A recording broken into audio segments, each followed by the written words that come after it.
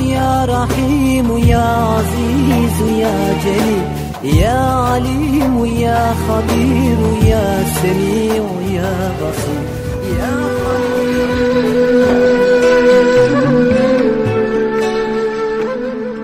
Bismillahirrahmanirrahim. Selamun Aleyküm sayın radyo denge dinleyicileri.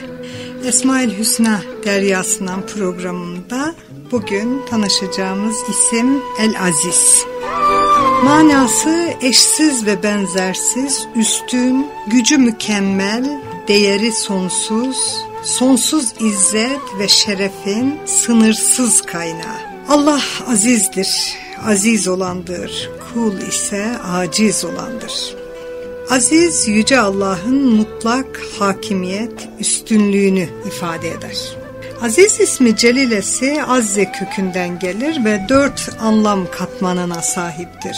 Birincisi şiddet, güç, kudret ve kuvvet. Rabbimizin şiddet ve gücüne hiç kimse, hiçbir şey, hiçbir tedbir karşı koyamaz. Nihayetinde tsunami buna sadece bir örnek. İkincisi galip gelme ve üstün olma. Allah Yasin suresinde de buyurduğu gibi hayvanları insanlar için zelil kılmıştır. Örneğin bir tondan daha ağır olan bir fili o 5-6 yaşındaki çocuk istediği şekilde yönlendirip istediği yere götürebiliyor. Yine 5-6 yaşındaki bir çocuk yüzlerce hayvanı önüne katıp istediği meraya götürüp otlatabiliyor. Bu insana verilen bir izzet cilvesidir. Ama bu izzet insanoğlunun kendi hüneri değildir. Bilgisinin eseri de değildir. Ancak Allah'ın insana ilahi bir ihsanıdır.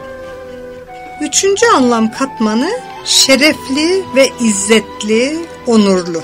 Şeref, şerefliye en yakın olana layıktır. İzzet ve onurdan ancak bunlar pay almaya layıktır.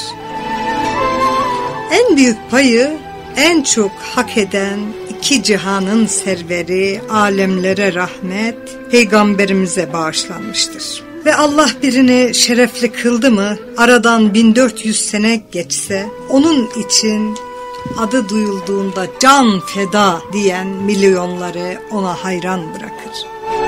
Allah bir evi, Kabe'yi şerefli kılarsa, çölün ortasında lavlardan yükselmiş birçok dağın arasında bulunduğu bölgenin en çukur yerinde olduğu halde hem deniz yok, ırmak yok, su yok, orman yok, manzara yok. Ama insanlar yiyeceklerinden, içeceklerinden kısıp, dişlerinden, tırnaklarından artırıp oraya geliyorlar ziyaret için. Dördüncü anlam katmanı ise destek olma anlamına gelir.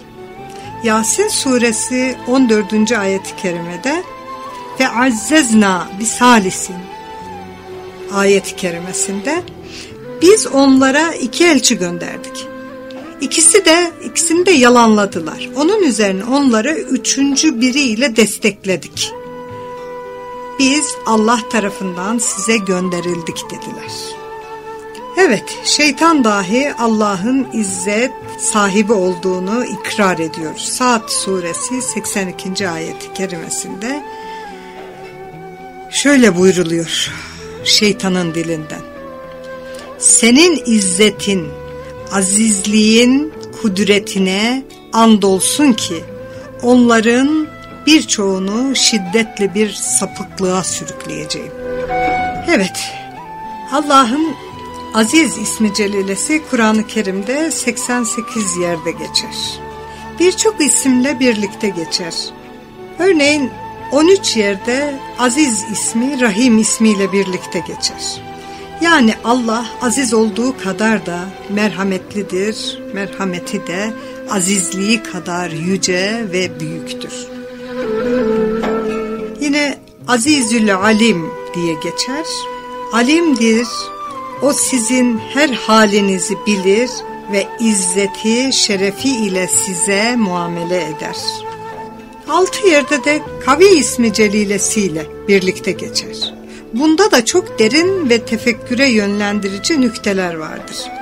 Allah azizdir. İnsanlardan bazıları bu yönde nasıl olmasa azizliği, rahimliği, var. Bu azizliği, rahimliği, affediciliği, intikamının önünde bizi affeder, bağışlar. O şereflidir, şerefiyle affeder. Affetmek ona yakışır diyerek faydalanmaya çalışırlar ve günaha dalarlar. İşte bu düşünceye sahip olanlara Allah ben aziz olduğum kadar kaviyim de der. Yani çok güçlüdür. Azizliğinden faydalanırken gaviliğini de unutmayın demek ister. Yine azizin gaffar diye de geçer. Hem azizdir hem gaffardır, affeder. Azizin hamid diye geçer. Aziz olan Rabbinize hamd etmeyi unutmayın der gibi bir vurgu vardır. İnsanın çeşitli sıkıntıları olur. Allah'ım hamdolsun demek gerekir. Allah'ım hamdolsun ki ayağım var ağrıyor. Allah'ım hamdolsun ki kolum var ağrıyor. Allah'ım hamdolsun ki başım var gözüm var ağrıyor sızlıyor demesi lazım. Bunda da bu vurgu vardır. Yine Azizün Vehhab diye geçer.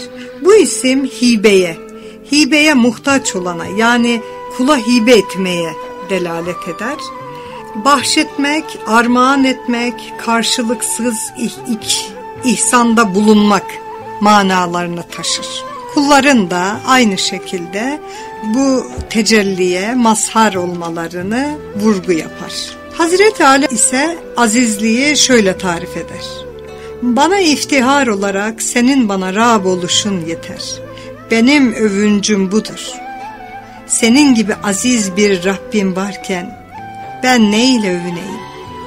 İzzet ve şeref, onur olarak benim sana kul oluşum bana yeter.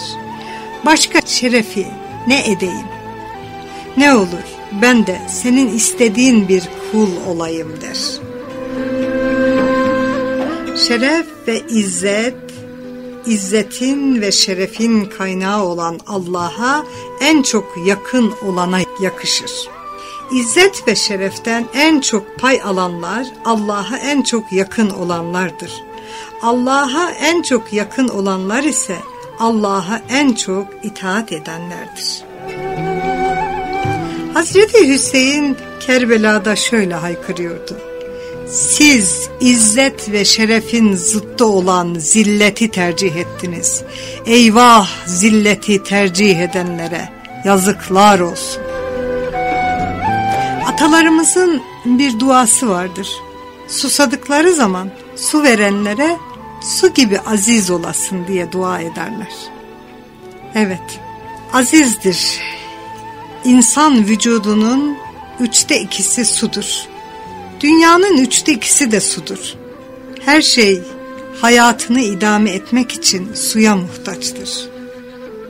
O nedenden dolayı su azizdir. Toprak da azizdir. İnsanoğlu topraktan yaratılmıştır. Aynı elementlere sahiptir insan ile toprak. Ve insan hayatını idame etmek için topraktan biten bitkilere, meyvelere, sebzelere muhtaçtır. O nedenden dolayı toprak da azizdir. Rabbimiz cümlemizi aziz eylesin. Su gibi, toprak gibi. Çünkü insan aziz olunca koskoca Firavun ordusu Hazreti Musa elindeki bir asa ile yenebiliyor.